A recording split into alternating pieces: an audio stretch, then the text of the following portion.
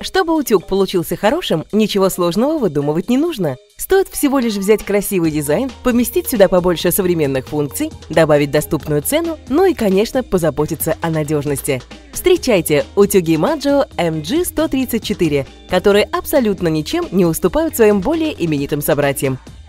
Дизайн и конструкция привычные для современных утюгов. Цвет можете выбрать – бежевый с серым или веселенький оранжевый с тем же серым.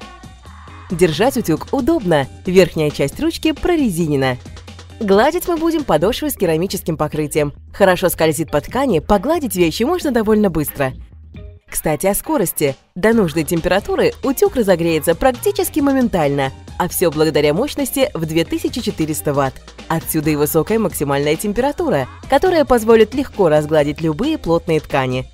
Но там, где есть высокая температура, должна быть и безопасность на соответствующем уровне. У моделей Maggio MG134 в этом отношении тоже все продумано. В роли защитника от неприятностей выступает функция автоотключения. Если утюг находится в горизонтальном положении без движения более 30 секунд, он отключится автоматически. В вертикальном положении автоотключение срабатывает спустя 8 минут бездействия. Конечно, есть у утюгов Maggio MG134 все стандартные возможности. Регулировка температуры плавным поворотом колесика для пяти вариантов тканей. Оснащены модели и возможностью глажки с паром, а также функции спрей. Любые части одежды гладить можно легко и просто. Для залива воды есть стаканчик.